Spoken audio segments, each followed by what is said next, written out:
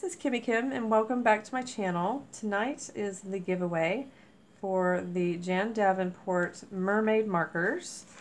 These markers. Um, last Friday I did a huge Friday haul and um, y'all left messages of what are your favorite things, you know, with crafts or, or anything really. And um, I really enjoyed getting to know y'all and reading all that. Um, it was a lot of fun. So 42 of y'all participated and there's 42 um, numbers in the bowl and let's get let's get mixing. Let's see. Who is the winner? Number one number one is Heather Miller. All right Heather Miller congratulations.